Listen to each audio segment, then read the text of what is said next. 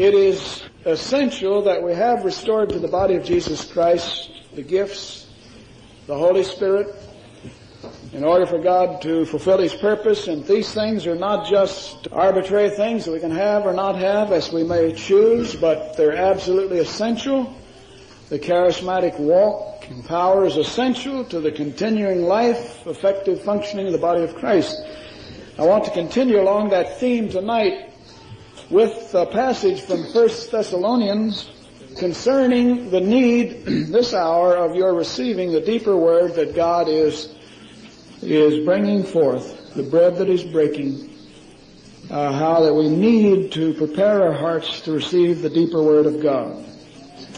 First Thessalonians chapter 1, because you see it's not enough to just to have the Spirit without the deeper word. We'll just dissipate the power and not fulfill God's will. You know you can dissipate the power of the Spirit in just praise and shouting. yes, you can. That's what the Pentecostals have been doing for a long time. They've got the power, but it's all going up. None of it's going out. And performing the ministry that God intends that should be conducted in this end time, that He's preparing us for. Paul says, verse 2, we give thanks to God always for you all, making mention of you in our prayers, remembering without ceasing your work of faith and the labor of love and endurance of hope in our Lord Jesus Christ in the sight of God and our Father, knowing, brethren beloved, your election of God. Verse 5, For our gospel came not unto you in word only. Now we emphasize the word and the importance of it, but Paul says that we need more than just the word, the letter of it. So our gospel came not unto you in word only, but also in power and in the Holy Spirit and in much assurance. You see from verse 5, Apostle informs us that it's possible to receive the message that's coming forth in this hour in one of two ways. Either to receive the Word only, or to receive the Word in power and in the Spirit. And when we receive the Word as we should, these three essential elements, aspects will always be present. We'll not just be receiving the Word, because every Christian has received the Word, or he wouldn't be a Christian. But when we receive the Word as we should, we'll receive the Word and the power and the Spirit. The Apostle Paul also speaks of this in 1 Corinthians chapter 2, when he says, And I, brethren, when I came to you, came not with excellency of speech or of wisdom, declaring unto you the testimony of God, for I determined not to know anything among you but Jesus Christ and Him crucified. And I was with you in weakness and in fear and in much trembling. So you don't have to be a great orator to be a great apostle. And my speech and my preaching, now his speech is the Word of God, you see, and we could translate it. And the Word and my preaching was not with enticing words of man's wisdom, but in the demonstration of the Spirit and in power. So there again, we see, as he said over in 1 Thessalonians, that the Word of God is to come in the demonstration of the Spirit and power. And when we receive the Word, as we should, in the demonstration of the Spirit and power, then it's going to affect a change in our lives that will be so dramatic that both you and others are going to know something's happened to you. I mean, many of you here could give already give a testimony to that, even though your friends, your family, sometimes wives or husbands do not agree with your charismatic experience. How many of you could testify, well, they've said he's changed. I'll say one thing, she's different since she received the Holy Spirit, which I don't agree with, but I'll say one thing. Uh, those charismatics are always praising the Lord and full of joy, and they don't know defeat. They don't have sense enough, maybe, but they don't know what it is. and they know something's happened. I remember several years ago when I returned to Louisville, the place where I did quite a bit of my early preaching before I became charismatic when I was in the Baptist seminary. And uh, now I had the baptism when I was back in a Baptist church and just putting out all the stoppers and telling about the miracles and the tongues and the whole bit. And it was reported to me by another, well, by the pastor, because he had heard what was said of one who, a friend of mine who had heard me before, a non-charismatic, and who had heard me this time after I'd received the Holy Spirit. And he said, he said of you, said, well, he's different. And then he went on to say to the one he was talking to, I'll tell you one thing, he's got a message. Now he never said that before, because you don't say that about Baptist doctrine. But when you receive the Holy Spirit, when you receive the Word and the demonstration of Spirit and power, they know that something has happened to you. Now, I was speaking in a Christian church a few years ago, and 35 or so received the baptism of the Holy Spirit. It was non-charismatic, and they asked for the message that we have here to be brought there, and several received the baptism, as I say, 35 or 40. And uh, went out to lunch one day with the pastor, with a friend of his who was a pastor of another Christian church. And all the pastor did of the church where I was speaking was make announcement and lead the singing. I was there doing the teaching and preaching. But this pastor, a friend of his, had gone to seminary with him. Now the pastor, by the way, was charismatic where I was speaking, and he had five or six in the church who were when we went there. But the pastor who was his friend said, I just can't get over the change in you, what's taken place. And all he was doing was announcing some songs. He hadn't heard him preach, but he could see that difference. Why, he said, you're the one in the seminary that couldn't even put a sermon together. You're afraid you wouldn't graduate, running around trying to get us to help you so you could get out of here. Afraid of your first pastor and all that. He says, look at you now. He said, well, I gotta, I've got to have that. He said, I, my church is dead, I'm dead and so forth and so on. So they know when you receive the Word in spirit and power. You see, it's possible to receive the Word without the power because you neglect to receive the Spirit. The power is in the Spirit. But you see, lest we charismatics feel that we've arrived, you can also have the Spirit without the power. Because you do not permit or allow the Holy Spirit to fulfill His ministry in you. The baptism of the Holy Spirit, my friend, as we've said so often, as we carefully discuss in the Deeper Life book, Deeper Life in the Spirit, the baptism of the Holy Spirit is not an end. It's just a doorway, a threshold experience. And so many, many charismatics are at the same spiritual level they were when they received the baptism of the Holy Spirit. A lot of people are receiving the baptism, but not all are growing in the Spirit. They're still at the same level spiritually. They still have no faith. Hearts are filled with fear and doubt and anxiety and unbelief. And they're just about the same spiritual level as they were. They're still spiritual babies. Uh, they can't receive the deeper word that comes here in this ministry, for example. If they have a choice between a deeper word like this and going to hear somebody's testimony of how they got saved or baptized in the Spirit, they'll always choose the latter.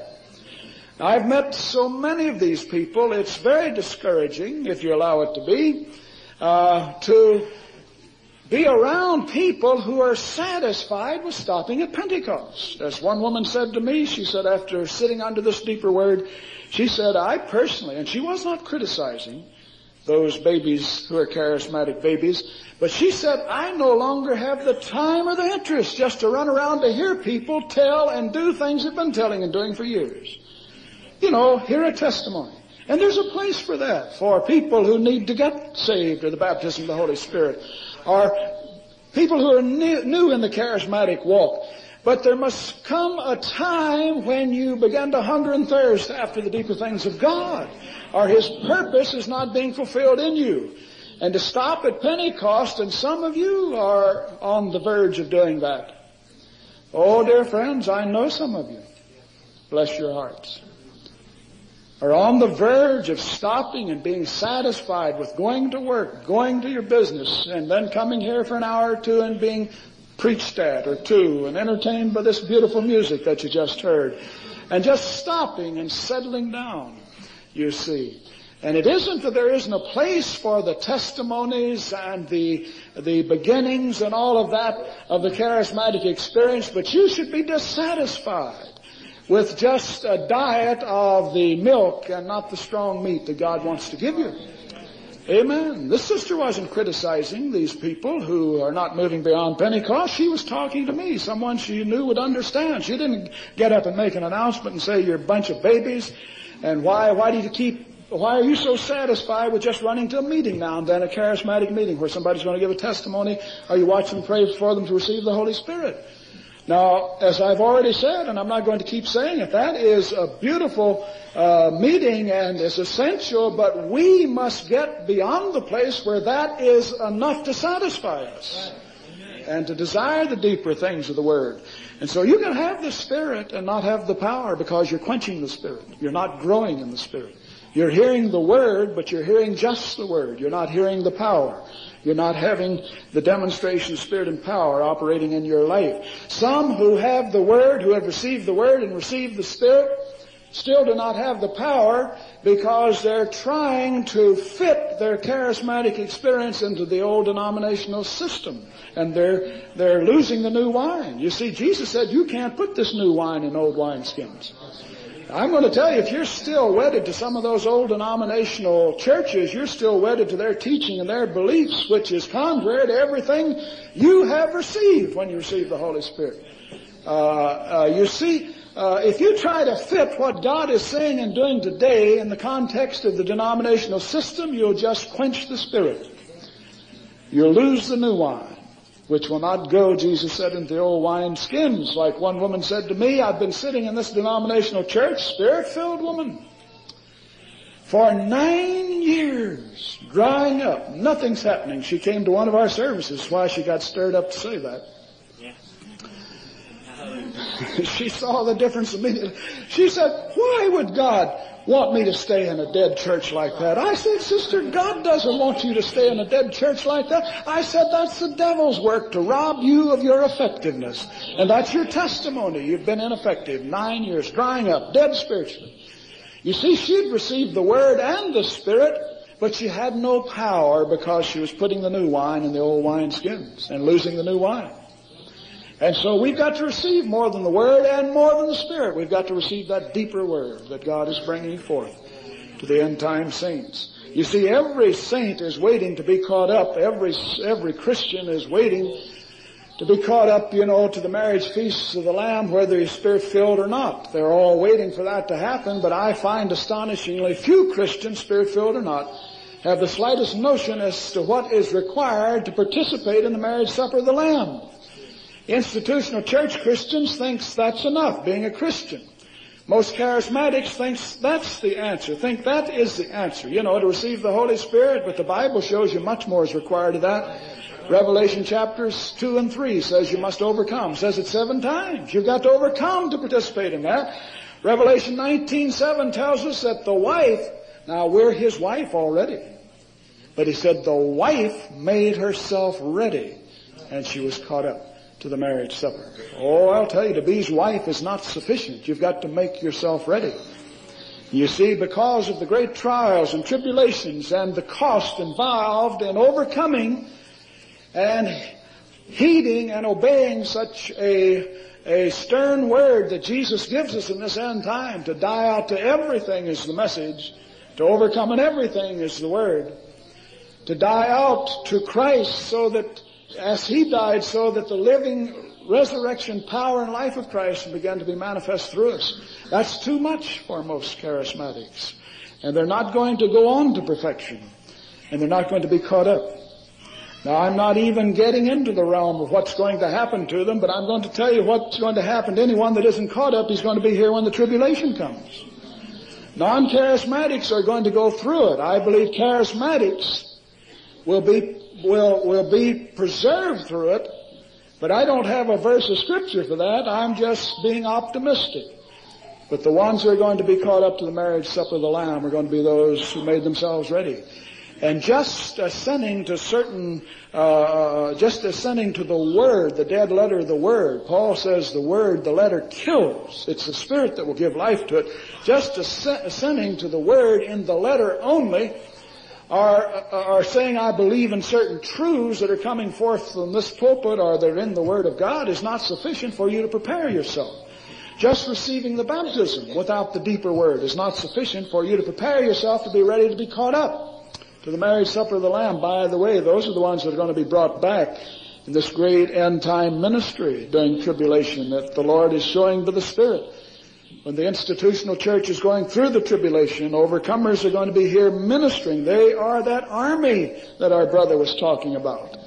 The Lord has shown me the same thing, except in a sermon by prophecy. Gideon's army. I may preach that again here sometime. Gideon's army that God is preparing us, and it's just 300. It isn't the 30,000 that he started with. Amen. It's those who prepared themselves and made themselves ready. Amen. And so just having the baptism without the deeper word won't, won't bring about the fundamental changes that are necessary for you to prepare yourself to be caught up. There's going to be people who have sold out, who have gone all the way, who have overcome in everything by faith through the Spirit. You see, you can take the invisible gas or gases in this room, hydrogen and oxygen, condense it, and you can get a liquid called water.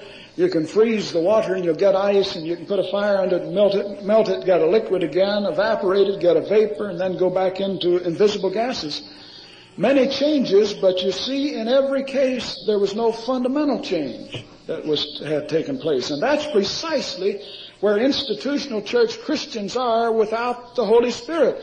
But that's also where charismatics are without the deeper word who've stopped at Pentecost.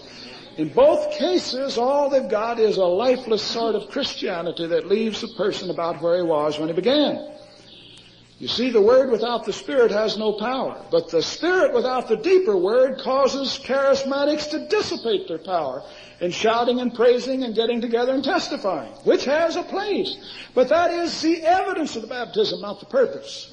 That just results from the baptism. It isn't the end, the purpose. And Paul speaks of this deeper word over in Hebrews chapter 5, if uh, you want to uh, Note that with me. The fifth chapter of Hebrews speaks of a word that, that we are admonished to get a hold of and not stop with just the basic elements of truth. He says in verse 12 of chapter 5, For when for the time you ought to be teachers, you have need that one should teach you again, which be the first principles of the oracles of God and are become such as have need of milk and not strong meat. For everyone that uses milk is unskillful in the word of righteousness, for he is a babe. But strong meat belongeth to them that are of full age, even those who by reason of use have their senses exercised to discern both good and evil. Therefore, leave the first principles of the doctrine of Christ. He doesn't mean give them up, but quit standing on the promises. Act on them. Therefore, leave the principles of the doctrine of Christ and go on to perfection, not laying again the foundation of repentance from dead works and of faith toward God, of the doctrine of baptisms, plural, and of the laying on of hands, and of the resurrection of the dead, and eternal judgment. And this we'll do if God permit, but he says to go on to perfection. That's the deeper word. To have the power, you've got to have the Spirit and that deeper word. It isn't enough to have the word and the Spirit, but it's a strong meat of the Word of God that He's trying to prepare you to eat and to digest. And it's coming to you gradually, a little here and a little there, and as you can assimilate it, He's going to give you more. There's much He wants to show us. But Jesus said you can't bear it yet. It means you can't handle it. you can pick it up and run with it, but you wouldn't know what to do with it. It's just the meat is too strong for uh, you can get into areas right now that uh, the average charismatic, what we take as, as first principles faith around here, the average charismatic stumbles over. It's the first time he hears it. Sits with his mouth open, doesn't know where to say amen or say he missed it or he's a heretic or something else. This, when you quote the plain truth of God, that all things you ask in prayer believing you shall receive. Just a simple promise like that. The average charismatic cannot handle because he's stopped at Pentecost. He's got an experience he doesn't know there is anymore. But God, with this deeper word, is preparing us for the greater works ministry that is coming. Greater works, as we mentioned last week. And for the perfect faith realm that He wants to bring you in, He isn't satisfied with your faith, my faith, anybody's faith in this hour. It's the faith of Jesus, the faith of God. Mark 11:22 we must have, and that's perfect faith. Is when we speak the word, it happens. Whenever we pray a prayer, it comes to pass. Because it's a perfect faith, and He wants to bring us into the realm of mature sonship, and that's why He's sending forth the deeper word for the greater works ministry to prepare us for it. You can't handle that ministry without the deeper word. and to prepare us for the perfect faith realm because it'll all function by faith and to bring us into maturity as the matured sons of God because in spite of what some are afraid to say, I'm not. Romans 8 says he's going to manifest the matured sons of God to this creation. It's going to be delivered by the sons of God. If you're a son of God, don't be ashamed to quote the Bible. It's Romans 8 because some have gone to one extreme on it, don't go to the other one like most charismatics and be afraid of truth. Because God can't manifest a son who doesn't believe he's going to be manifested. He wouldn't be prepared to be manifested because he has to believe it now to get ready for it. And this greater works ministry that he's preparing us for, mentioned over in John 14, it wouldn't hurt some of you to look at that. I quoted it hurriedly last week in the message we gave and said that every Christian says he believes these promises and yet down deep in his heart he says, would it really be possible if I tried to apply it? Will it really work for me? But John 14, 12 to 14. This is one of the greatest promises to the church in the Bible. Verily, verily, I say unto you, he that believeth on me. Do you believe on him? Amen. Then quit saying, quit saying he was talking to the apostles. Or to the first century Christians. Or to the Jews. Or those who lived in Palestine. Or to the future out there. He said, He that believeth on me, the works that I do, he shall do also. And then this that so many can't really receive, not by faith, and greater works than these shall he do. Greater works. Because I go to my Father, and whatsoever you shall ask in my name, that will I do. Why? So the Father will be glorified in the Son. You ask it in His name, that glorifies God to answer prayer, the prayer of faith. Quit thinking you have to beg and plead with God to do what He says. It glorifies Him for you to believe Him in Jesus' name to ask Him. If you ask anything in my name, I will do it. Why do you limit God? Find out what He said He will do. And all He said He would do is included in that anything. But the greater works are yet to come. Joel 2 speaks of an early rain and a latter rain. And the Lord is showing by His Spirit how the early rain in Joel chapter 2 speaks of the present day outpouring. 1900 to 1975 at the present time, 75 years of the early rain, but there's a latter rain to come. The early rain is described here as the works that Jesus did. But the latter rain which is to come is the greater works ministry that has, why the half has not been told. God is revealing by His Spirit to His servants all over the world. Uh, servants you know and some you don't know. How that the book of Acts and what happened there and the things you're seeing now and the things you saw under ministries like Oral Roberts and T.L. Osborn, William Branham and so forth, these are but a drop in the bucket to what He's getting ready to do through you, if you believe it. Because we are the ones upon whom the ends of the ages have, have come. And you know those of us who can take it by faith and believe it because it's already in the Word. There it is revealed. The greater works have never been done, then it's going to be done. They will be done through us. Hallelujah. I believe it. That means I'll receive it. Hallelujah. God forbid that I should doubt. But by the Spirit of the Lord I shall shout the victory and claim by faith that I shall walk in that army of Gideon. Yea, I shall be one of them, and I shall perform the works of Jesus, yea, the greater works that he promises in his word. In John 14, 12 to 14. I spoke that with the Spirit. But it was still a confession of faith. Hallelujah. Praise the Lord. Bless the Lord.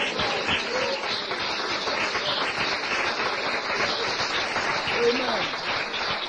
Oh, I mean to tell you, friends, eye has not seen, ear has not heard what God is getting ready to do through you, through those who overcome, who those who are not satisfied with the status quo, with stopping at Pentecost, with their little job or their little business or their little whatever it is that's taking your time and your interest. But these are just means to pay the way to learn the Word and prepare yourself for end time greater works ministry. I'm not going to stress the works, I'm going to stress the greater works because they are to come. The works are happening already.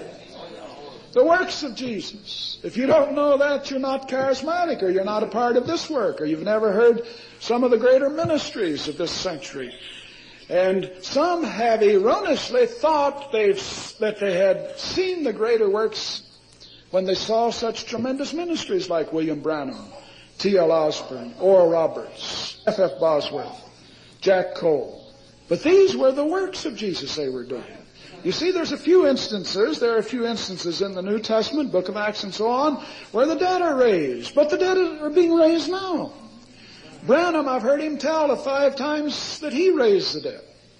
You see, that's not the greater works. Those are the things that happen right here in the New Testament. But the greater works of, say, raising the dead, that's just one area that God's going to demonstrate the greater works power of the end time matured sons of God, would have to be an increase in number and degree.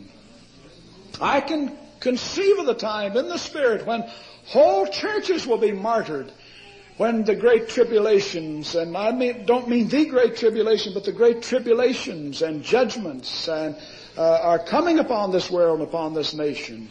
And when the world church is established, and when you can't meet and worship like this, and when you'll take your life in your hands as they do behind the iron curtain many times just to meet, they can never have a service like this. Persecuted, put in prison, killed many times. I can conceive of whole churches being martyred and the matured sons of God under such anointing walking into the midst and saying, Arise in the name of Jesus, and the whole body rises up before the awe-stricken gaze of their persecutors. These are the greater works that he's going to demonstrate in this end time. And hallelujah. Praise the Lord. Well, I can, I can tell you believe it. And Jesus raised Lazarus dead and stinking four days in the tomb. Why, to do that would not be the greater works. He says, you'll do what I do and greater works than me. And if the Spirit revealed to you He's going to raise up someone not dead four days, but four weeks, four months, four years, four centuries. What if He told you He's going to raise up John Wesley? To come back and preach, or a prophet.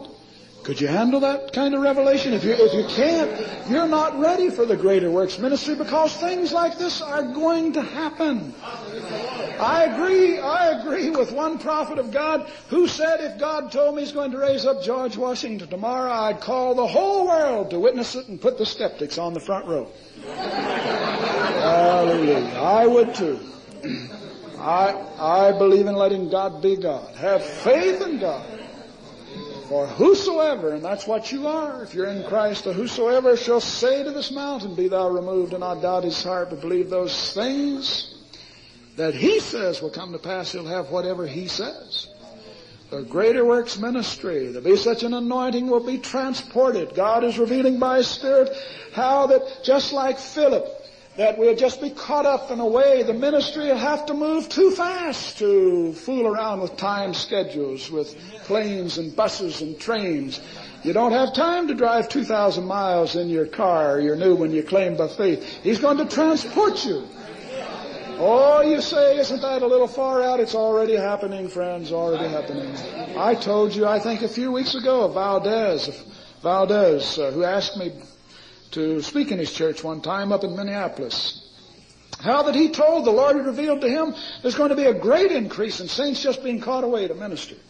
They'll close their eyes, you better stay shaved up, your hair combed, caught away to minister. And he was telling this to his church in Minneapolis, and he said one of his deacons came after, you know, you remember me telling this all white and shaky, and said, Pastor, it isn't going to happen, it's already happened.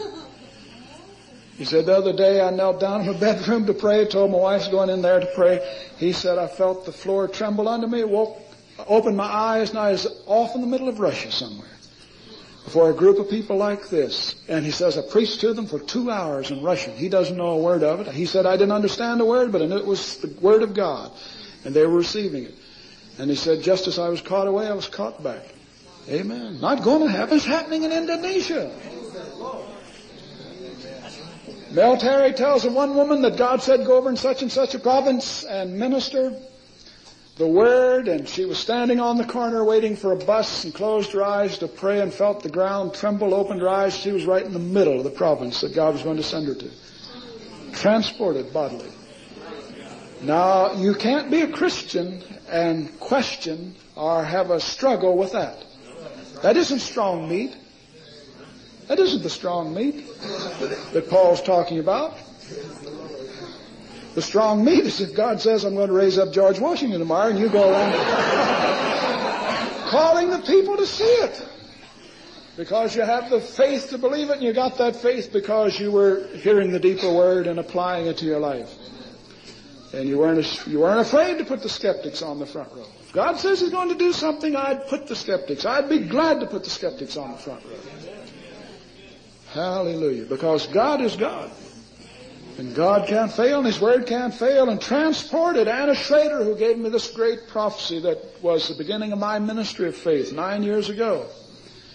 There in Dallas, Texas, told how she, it isn't going to happen. Friends, these are just the works, the transportation, the being transported, the greater works and the greater happenings will be great numbers of us frequently caught away here and there to minister, and you can get a, a hundred things more done, you see, in a week than you could do in a year by driving and flying and all of that. In preparation, you're going to preach to them in the Spirit, the language that He gives you. Russian, French, German, Hebrew, Greek, Polish, Arabic, Chinese, Japanese, whatever, wherever you're caught to. This brother didn't know a word of Russian. So Anna Schrader, as I say, who gave this great prophecy which has been unfolding in my life and ministry, tells how that back in the 20s, she was quite a teacher, preacher, evangelist. Well respected, you know, by Gordon Lindsay in Pentecostal circles. A prophetess of the Lord, still living, ancient like Anna. Told how she was standing, waiting to go in to minister, the Spirit of the Lord just caught her up over a huge tent from one side to the other and set her down. Why? To demonstrate the power and anointing that was on her. Another time said, as I preached before them, I just caught up and preached in midair to them. Before their astonished eyes. Not going to happen, already happened. Those are just the works, you see, the greater works.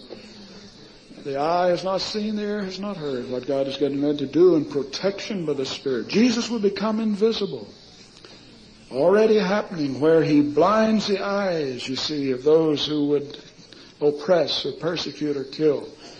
To, we could tell you stories about that. In fact, we have, as you well know. Uh, this not going to happen already taking place. Walking on the water, turning the water into wine, already happening. These are not the greater works, these are things Jesus did. Walking on water is what Jesus did. There's one brother I've heard say, he said that he knows personally of this evangelist. And of course, some of you can't receive this, but I'm not telling it to you. I'm telling it to those who can receive it. He said this evangelist, before he knew better than to doubt, as a child would walk on the air. The anointing was on him so heavy. The hand of the Lord was with him from birth. God doesn't call prophets when they're 30 or 20 or 50. He said to Jeremiah, I separated you from the womb. If he ever called you into any ministry, he separated you from the womb to that ministry. You just find out about it when you get in God's will and in line with that to be fulfilled in your life. Walked, he said, I walked in midair, walked over the housetops and treetops until I got to be eight or nine years old and, and got too old to, to just believe it. And then I couldn't do it. Amen. And had a tremendous ministry, anointed ministry. But think what would have happened if he'd have kept his faith in that area. And there's times, friends, when you you'll wish there was water there to walk on to escape your enemies. Oh, bless your heart. You know, if we were telling you something that that uh, wasn't already confirmed in the Word, some of you could look the way you are. but it's already in the Word. I'm just not, I'm not going to, I'm not going to water it down. I'm not going to, allow the spirit to be quenched. I'm not going to be intimidated by the devil or people. Because if you can't handle it, you're in the wrong place tonight.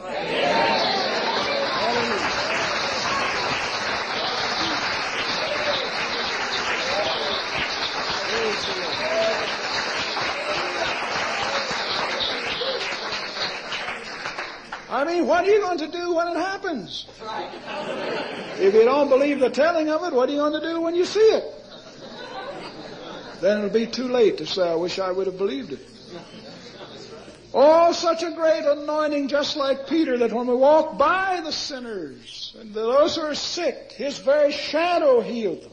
It's in the Bible. Why would you call yourself a Christian when Jesus said we'll do his works and not expect that to be repeated? Peter did it, and all over God again is revealing these same things, but in tremendous increase in number and degree in the end time. As one sister told me in one of my meetings where I taught regularly, and I brought something like this up. She said, Brother Freeman, just like you're saying it, you're saying it by faith. But she said, I've got it in the spirit, in vision. Tremendous vision that you're talking about the matured sons of God will go forth and do these works. And God showed me in vision how as we walk down the street, those who've overcome, not charismatics, but overcoming charismatics, as we walk down the street and pass a car parked by the curb, filled with the un, unsaved and the lost. She said, if, if our shadow even touches the car, they'll throw open the doors and fall on their knees and repent. There'll be such an anointing upon the end time saints. You see, no Christian can read the book of Acts that, uh, and quarrel with that because they were healed just when Peter's shadow touched them because of the anointing. Another sister said to me in Florida, this is same thing from another source. God, the Lord appeared to me as a young girl and called me into the ministry, said, I'm going to preach. He says, she sings now, but she says, I, this ministry hasn't unfolded, but I believe it like you say. It's going to happen. Please stop your machine at this point and turn the tape over.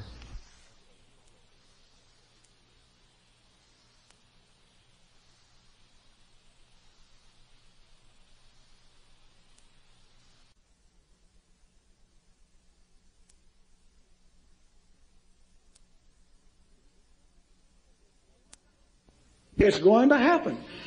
And she said, He has shown me in vision, me ministering, and there'll be such an anointing, you see, upon me. And this was a confirmation that it would be upon all of those who overcome. But said, such an anointing on me as I would preach the word. I just point to that one, say, be saved. That one, be healed. They fall on their knees and repent. Oh, you see, it's always they repent. You see, some people want to quarrel with the fact, how can you point to someone and be saved? Say be saved. Well, I think if you read, and you don't have to read between the lines, what Paul happened to Paul in Acts 9, you'll see it there. That's far enough, Paul.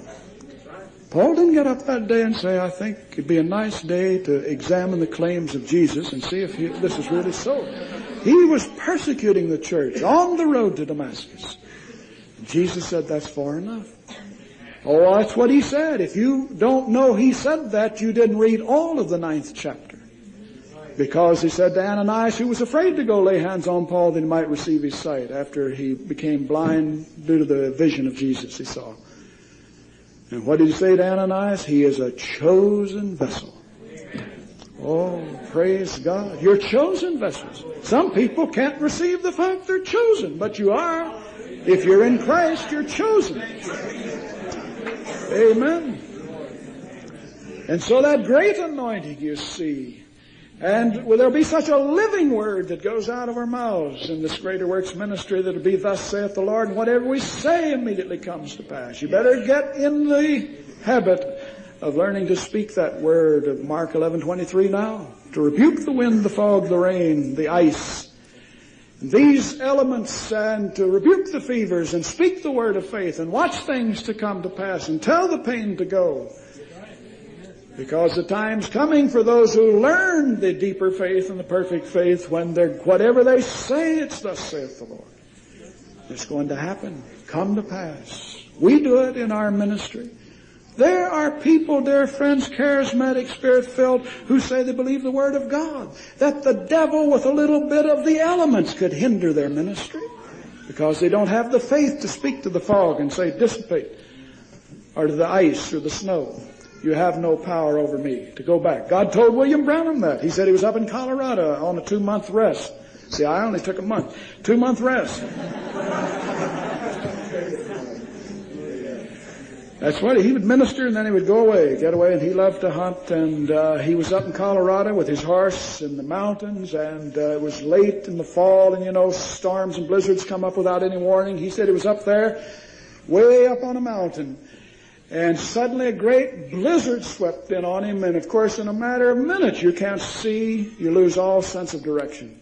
Stood there by a great tree, and he said the voice of the Lord came to him directly and audibly.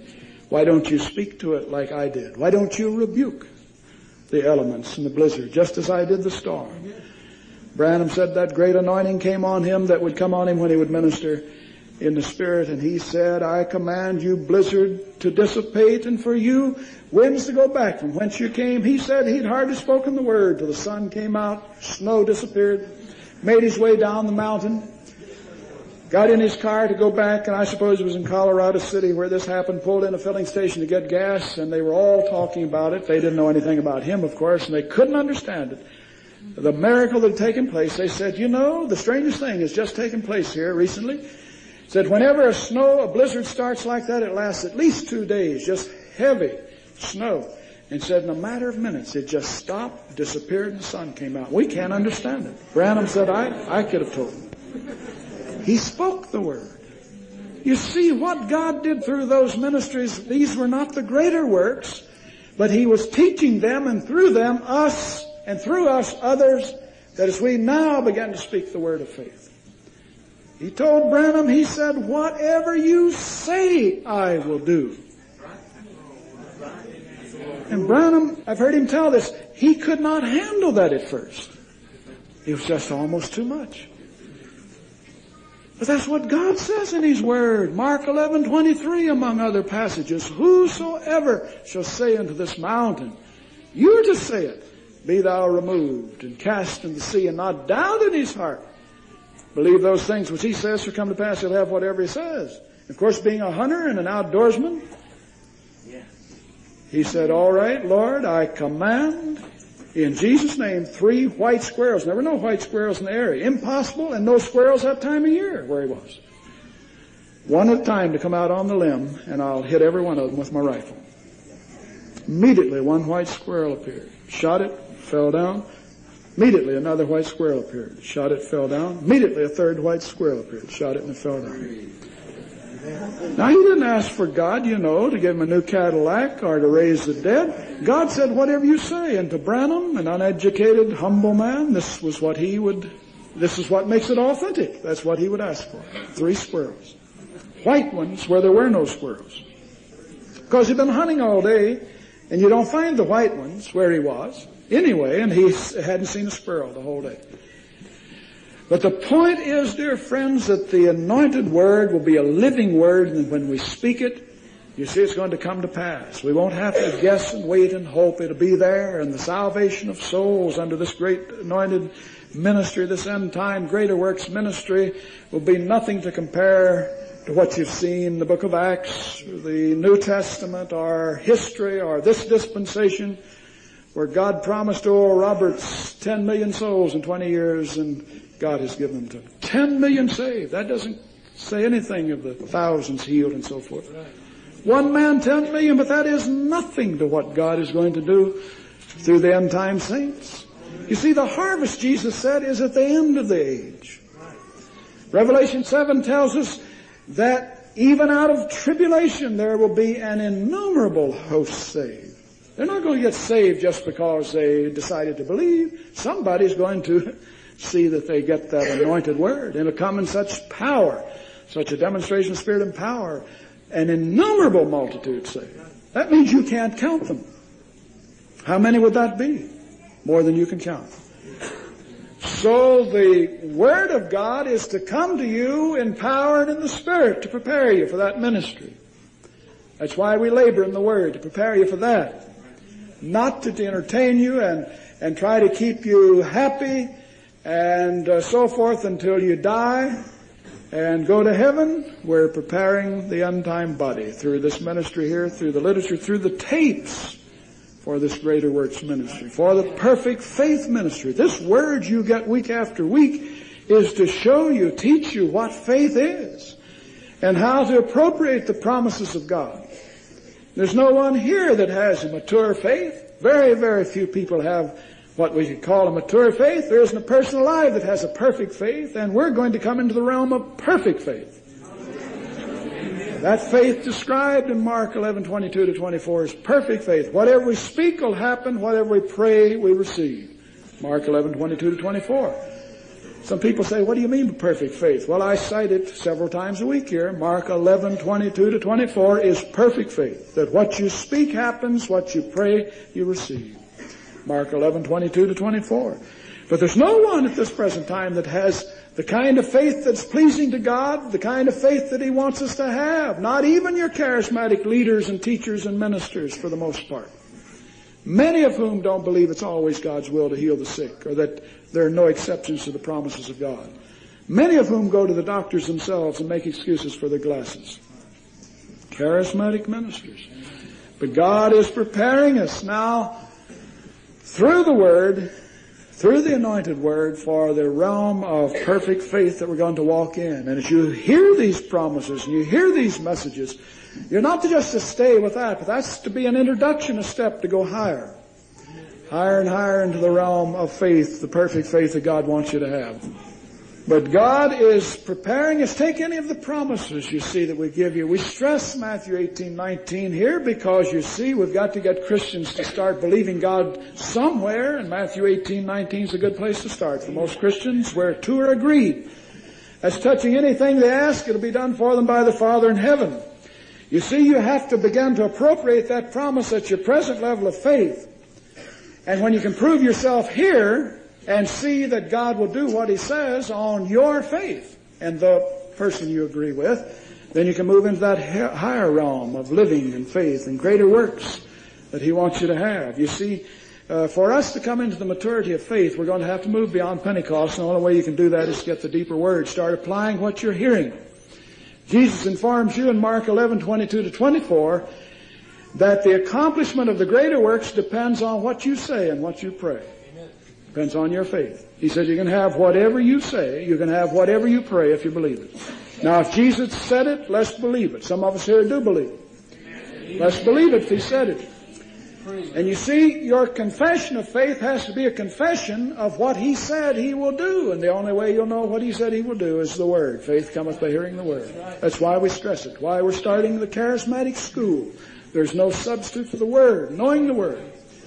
Knowing what God said, not what man said about it, but what the Word says. You see, faith comes by hearing the Word. That's how you're going to get the perfect faith, hearing the Word. I read somewhere a long time ago how a spirit-filled brother was over in Palestine sitting by the Sea of Galilee, and as he looked across the Sea of Galilee, saw, saw Mount Gilead over there. This is where Elijah, the prophet, the great prophet of faith came from. He was sitting there meditating, wondering why in the world we don't see that kind of faith today. And as he was meditating in his heart, a stranger walked up. He thought he was a man, began to converse with him, but he sat down and began to tell him all the thoughts of his heart. Told him what he was thinking about. Said you were meditating on this and that and how that Elijah came over there from Gilead over to this side and how he was a prophet of such great faith you were wondering why that we don't have that kind of faith today. He said, my son, you get Elijah got his faith the same place you get yours, from the Word of God. Elijah had to believe the Word that came to him. Faith comes by hearing the Word. You know why you pray and don't get answers. You know why you claim this or that and don't get an answer sometimes. It's because you're not believing the Word, you're believing what you think is the Word. This is why the teaching is essential. Because many times you're claiming, confessing what man has said. You're confessing, even though you don't know you are, you're confessing some of the old dead denominational Baptist doctrine, or Lutheran doctrine, or Methodist. Now, I'm as guilty as that as, as, anybody. In fact, I learned it the hard way that you can confess what you think's the Word of God and then get the Holy Ghost and find out you were confessing man's teachings. I had this kidney condition back years ago, had it past tense, you notice? Went to the doctors, the specialists. They tried every way in the world to find out what was wrong for two solid years, 24 hours a day. I suffered pain. They couldn't figure it out because they couldn't find anything wrong with me. I, I was bleeding. Uh, I had uh, kidney problems. They couldn't find anything wrong with me. I took all kinds of medicine. I took medicine till I got tired taking medicine. That was the days before the knowledge of divine healing, of course, my Baptist pastor days. And so I just said, well, of course I didn't know any Baptists who believed in healing, but I said, Lord, I'm tired taking medicine, going to specialists, being cystoscope. That's painful. That's terrible. And all of that. I said, I'm just going to trust you. It's best to know how to heal me. And I turned over to 2 Corinthians 12. I should have never gotten there, but that's about all Baptists know about healing Paul's thorn. Said, Lord, if, if, and that killed it, if it's your will, heal me. If not, give me the grace to bear it. And I really, because that's what Paul, now of course I thought then Paul's thorn was sickness. We won't get into that tonight. We've got a tape on it. Paul's thorn, Job's boils, Epaphroditus' sickness. That will discuss the whole question, but the point was I didn't know any better then. I thought I was confessing scripture to God, right in line with His will. It was not until after I received the baptism of the Holy Spirit that I discovered I wasn't quoting scripture to God, I was quoting my Baptist doctrine. That's why I wasn't healed. That's why I wasn't healed.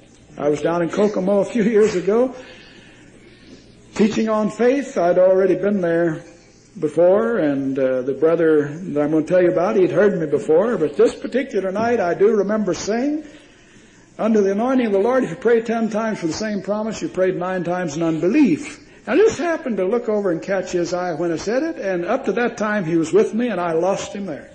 And it just kind of slipped out of me. I said, well, I lost some of you there, didn't I? And from that point on, he didn't smile. He looked like he could bite ten penny nails in two. And I'd no, I'd no sooner said amen. He was a pastor. No sooner said amen till he made his way up to the pulpit. He said, now you said, and he was mad, you say if you pray ten times for the same promise, you prayed nine times in unbelief. Now that's simple logic. If you believed you received the first time, you see, why did you pray ten times? Jesus said, all things you ask in prayer, believing you shall receive. Jesus said, when you pray, believe you have received and you shall have it. If you believe you have received. So that was the basis. I was teaching that. That's, and then I said the ten and the nine.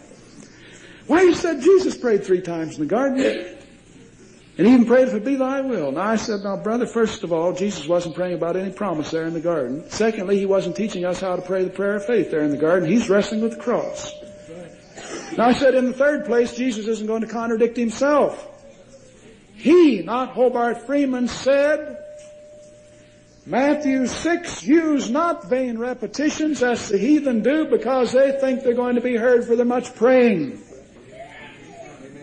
Jesus said, when you pray, believe you have received and you shall have it. Now I said, Jesus isn't going to contradict himself. I'm talking about the promises of God. It's so easy to forget what you stress over and over. We're not talking about when you don't know God's will. Pray if it be thy will when you don't know his will. Better pray for a revelation of his will. Then you can pray the prayer of faith. We're talking about the promises. You're supposed to be knowing His will 95% of your Christian life. You're not supposed to be running around in a daze, bewildered and confused. That's the world. That's the denominational church. You're supposed to be in the Word and knowing what His will is. You're supposed to know the prayer of faith heals the sick. My God will supply all of your needs according to His riches and glory. And so, you see, without a knowledge of God's Word, a deeper knowledge of God's Word, he had a knowledge of the Word. He knew where Jesus was in the garden praying. He was a pastor. He'd preach messages out of the Bible. It wasn't that he didn't have the Word, but he didn't have the deeper Word. He even had the Spirit, the baptism, but didn't have the deeper Word, and therefore he couldn't put it together. Jesus in the garden is all he could see to justify why, you know, that some people he had prayed for hadn't got healed, I suppose. It is an easy way out. It's really a cop-out. The easy way is to just say, you know, that, that Jesus prayed if, so I'll always pray if. That's putting the responsibility back on God, and He's already put it on us. And so to come into perfect faith, we have to get beyond Exodus 15, 26, believing I am the Lord that healeth thee. That's a good place to start. But once you've appropriated by faith Exodus 15, 26, God doesn't want you to stand there on that promise. He wants you to move on up to say Exodus 23, 25. I will take all sickness out of the midst of thee if you obey me. He promises you both physical and spiritual prosperity if you obey Him. So He doesn't want you to stand still. He wants you to come into mature, perfect faith. Why? So that He can manifest us as His matured sons. That's what He's preparing us for. To bring us into maturity. Now the average charismatic, and we have to face reality, is not ready, not able to receive the deeper revelation that God has for us. That's why He's bringing it forth gradually. A word here, a line there, a little here, a little there, this ministry, that ministry. You're supposed to put it together. You see, because Jesus said, I have much I want to say to you, but you're not able to bear it yet. You see, the ministry He's preparing you for, us for, is going to be a new type ministry. It's not just going to be a repetition of the apostolic ministry. It's going to be that, but much more than that. And so He's gradually preparing us through the deeper word that you get through ministries like this church brings forth. And if you don't believe this is a deeper word, just take any part of it, what you may think's the least, Anywhere else, and you'll find out it's a deeper word when you get those big stares right back at you. They bounce off of you like sound off of the wall. And so when the, the ministry that he's preparing us for is a gradual preparation. He is preparing us in faith, the word of faith. He's gradually restoring the charismatic gifts to the body. He's restoring the place and importance of prophecy. People, some of you are prophesying who never believed that you would. He is restoring uh, the ministry to the body, body ministry, charismatic body ministry. He is showing us the need of overcoming. He is exhorting us to die out to self, be crucified with Christ so that the resurrection, life, and power of Christ can come forth through us. He's restoring the fivefold ministry. You're seeing the apostles, prophets, evangelists, pastors, teachers, the charismatic, God-gifted ministries all over the world being restored. They're happening. You don't have to look forward to finding an apostle today or a prophet. And certainly not a teacher. We've got, we've got many teachers going right out of this body every week, and there are going to be more. Amen. Anointed ministries, gifted ministries. He's restoring all of that, getting ready for the great restoration of the new order, divine order. And if you are still satisfied with stopping at Pentecost, if you're still trying to build some little kingdom around your gift or ministry, if you're still uh, easily offended by the word, the deeper word, if you're still stumbling and raising questions and asking and reasoning why, if you're still critical, critical and gossiping and quarrelsome and not submitting to the leadership, you're still under the old order. You won't be ready for the new order that God's preparing us for. You see, the present anointed word ministry, friends, that you are hearing. And we're just telling you like it is. We're not setting ourselves up as anything uh, above any other brother or sister in this end time, but we know what you're getting, and you know what you're getting, or you wouldn't be enduring it.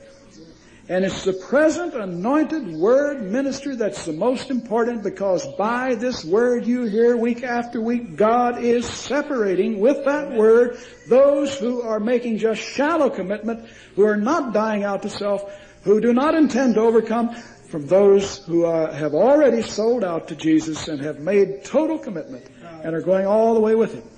Now, don't be deceived most people think God's going to separate us out there in the future if we prove ourselves. He isn't going to separate us. He's been separating us. The shallow from the overcomer. In fact, you've already made your choice you've been here six months. You already know whether you're going on to the deeper things. You already know where you believe all of this message.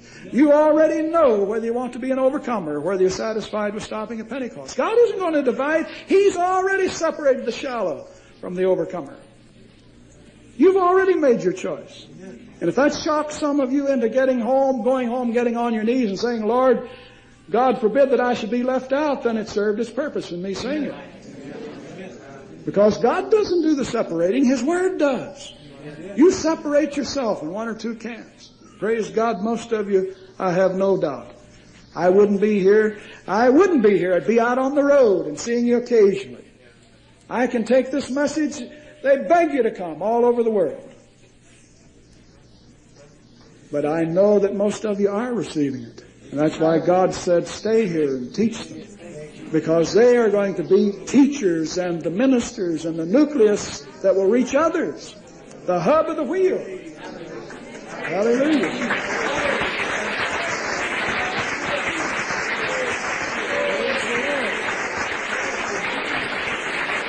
Amen. Praise the Lord. It is true. And it only happens if you believe it. You see, uh, I didn't get some great revelation like a jigsaw puzzle all put together when God called me to this ministry. It came through vision and prophecy and He said, there it is, believe it or don't believe it. And I decided to believe it and it all began to unfold. And it's only the beginning. This, this part of it's only the beginning of what God has shown. What He's getting ready to do.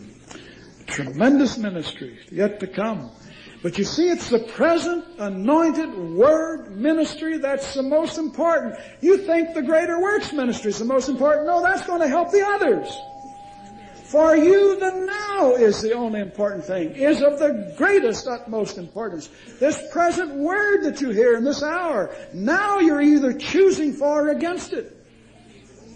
Now you're growing or you're not. Now you're being prepared or you're not. You see, the anointed word ministry prepares you for the deeper word he wants to bring us. And he brings us more and more, you see. I get amused at people sometimes say, Brother Freeman, you've sure changed before, you know, from three or four years ago. It isn't me changing, although I'm changing, but they're changing. The word's changing them.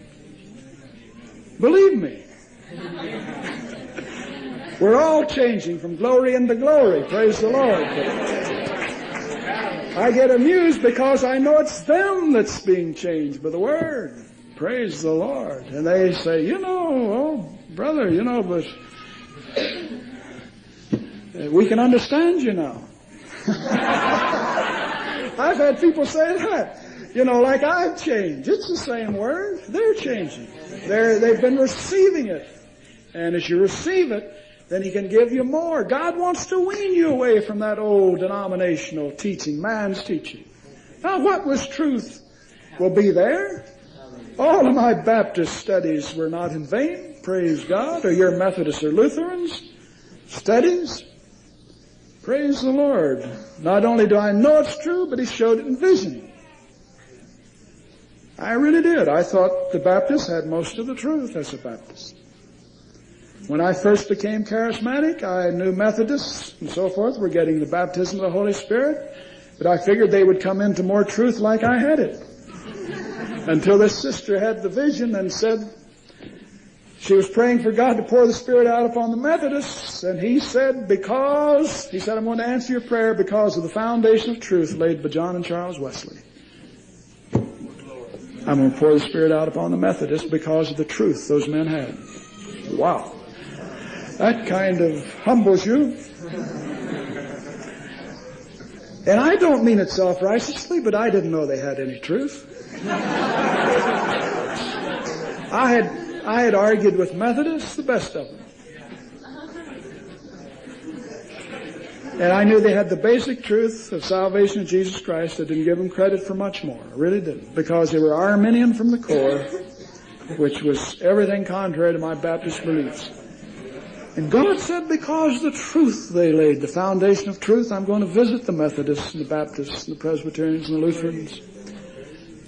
Sweep away like the wind blowing away the chaff, all of men's teachings, traditions, where they've been accumulated over the centuries or recently.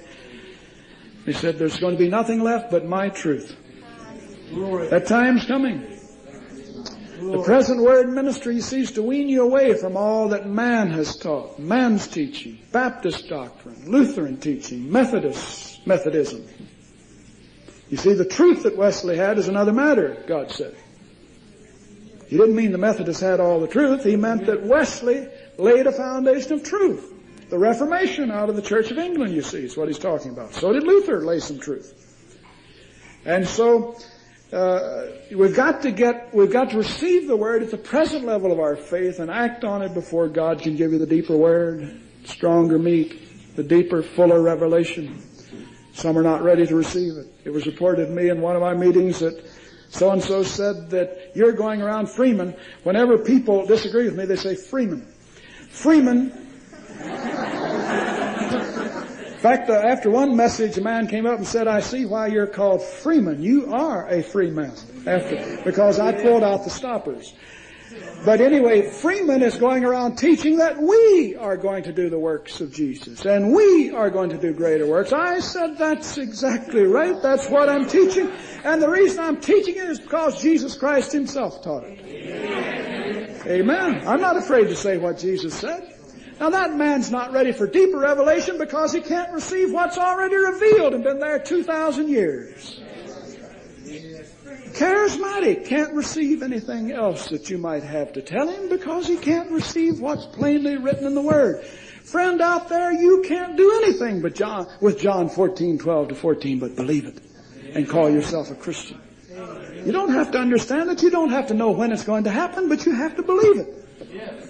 He said, he that believes on me will do my works. And if you're not doing these works, then you better call into question your belief.